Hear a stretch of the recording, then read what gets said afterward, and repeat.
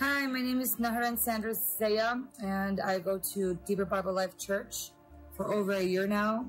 I'm in California right now, but I found Deeper Bible Life Church in Chicago, Illinois, and it truly has changed my life.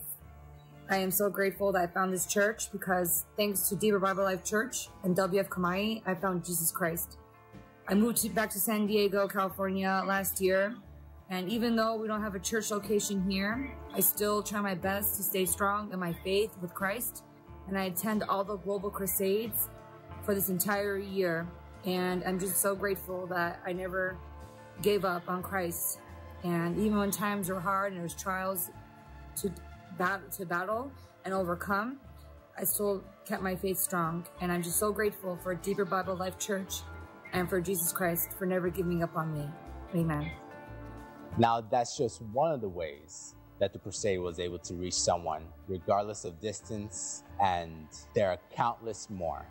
Now, most of us probably can't even find the town of Pleasant Prairie, Wisconsin on the map. But as the Bible commands us to go into all the world and preach the gospel to every creature, the Global Crusade was able to reach one of these small towns and is still touching lives. Here's the conversation we had with Brother Mike. Good evening, dear friends. It's been one year of the Global Crusade with our Father in the Lord, Pastor W.F. Kumuyi, and we've heard countless stories of how lives have been touched in every corner of the globe. And with me here this evening, I have the distinct pleasure of meeting with my friend, uh, Brother Michael Buckner. Brother Michael, it's great to have you here. Thank you so much.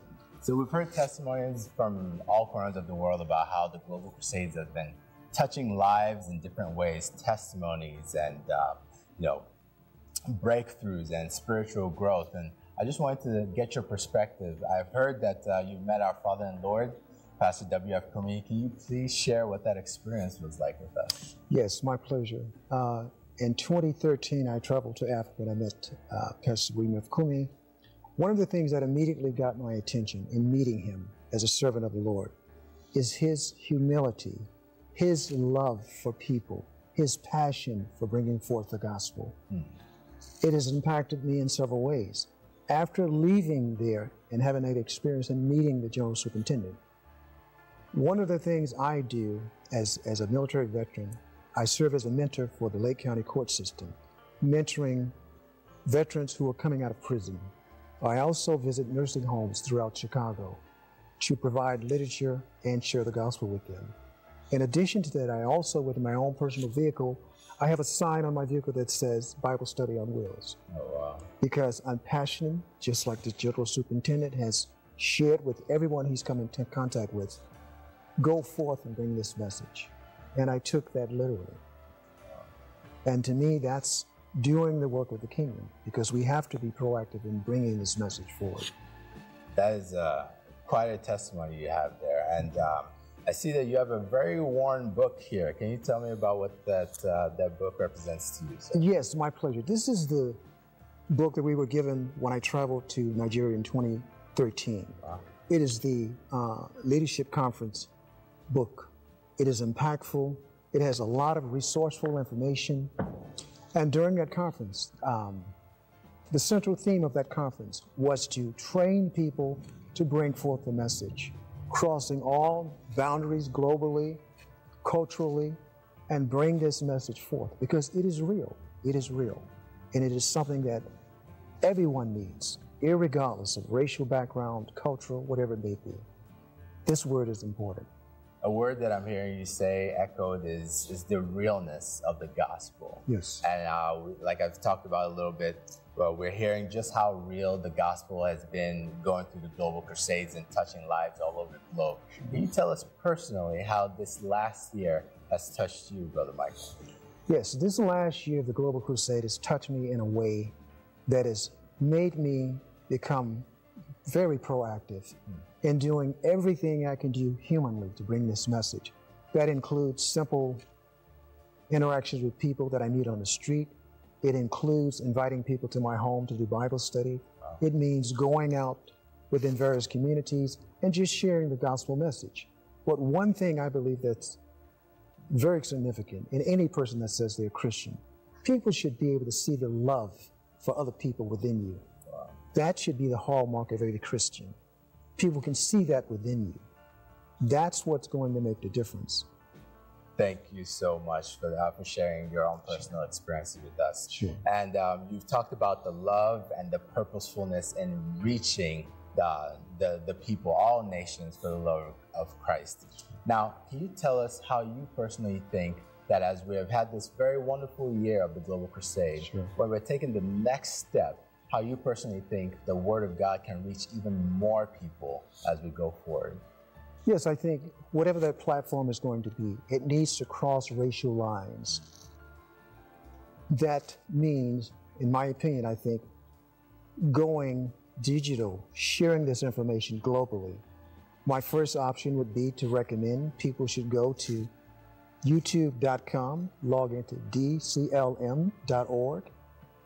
That message is preached, or messages are preached throughout this global Christian under the inspired leadership of Pastor Dr. W.F. Kumuyi, then I am excited and thrilled to see exactly what the Lord has in store for us in the future of the GCK. So then let's ask the question what does the future hold for the Global Crusades? In Europe, our church leaders are ramping up efforts to get the message of the healing and life restoring message of the Gospel Crusade into more and more homes. When these conversations are completed, a potential 11.5 million homes in the UK and 45 million homes in Europe will be reached with this message through Faithword TV and Premier Radio. Please pray that God will open up these gospel doors. And in America, there's an effort in progress to capture the essence of the global crusades into books and podcasts and audiobooks that will be distributed across multiple digital platforms such as Kindles and Nooks and e-readers and iTunes to reach unchurched people that need Christ, thirsty saints that are longing for spiritual growth, and even seasoned ministers that want to replicate the success that Pastor Dr. W.F. Kumuyi has had during the course of his over 40 years of fruitful and life changing ministry. In Asia, churches in the UAE, Pakistan, India, China are constantly searching for innovative ways to bring the message of the gospel in the native tongues of a combined population that exceeds more than 2 billion people through an army of interpreters. In Africa, hundreds of thousands of people will be gathered in the Alpha location and in other regions as God's choice servant, Pastor Dr. W.F. Kumuyi, carries the message of saving grace, sanctifying love, and supernatural signs across the continent to the world. This is the future of the GCK. The whole gospel, the whole world, by the whole church. I ask you to please spread the word as the journey has just begun.